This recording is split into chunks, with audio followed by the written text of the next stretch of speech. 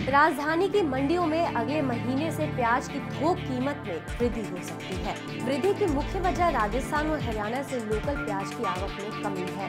राजस्थान और हरियाणा में प्याज की पुरानी फ़सल खेतों में लगभग खत्म होने के कागार पर है, जिसकी वजह से राजधानी की आजादपुर मंडी में प्याज की आवक पर असर देखा जा रहा है।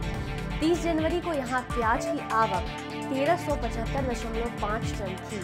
लेकिन इकतीस जनवरी को यह आंकड़ा गिरकर छह टन पर पहुँच गया। उसके बाद 1 फरवरी को ये गिरावट चार सौ पैतालीस दशमलव पाँच टन पर पहुँच गई है। मंडी में इन दिनों प्याज की आवक राजस्थान और हरियाणा से भी होती है।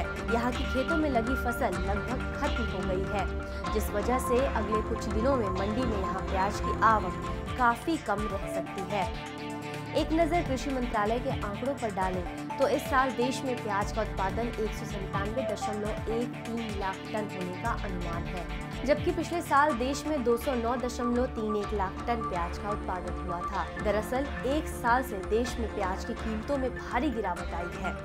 भाव कम होने की वजह से इस साल देश में किसानों ने प्याज की खेती को घटाया है, जिस वजह से उत्पादन में काफ़ी कमी आ गई है। इस साल के कृषि मंत्रालय की ओर से जारी पहले अग्रिम अनुमान के मुताबिक देश में करीब साल भर से प्याज की कीमतों में भारी गिरावट की वजह से इस साल किसानों ने इसकी खेती घटा दी है। जिस वजह से देश में प्याज की पैदावार पिछले साल के मुकाबले करीब 12 लाख टन घटने का अनुमान लगाया जा रहा है।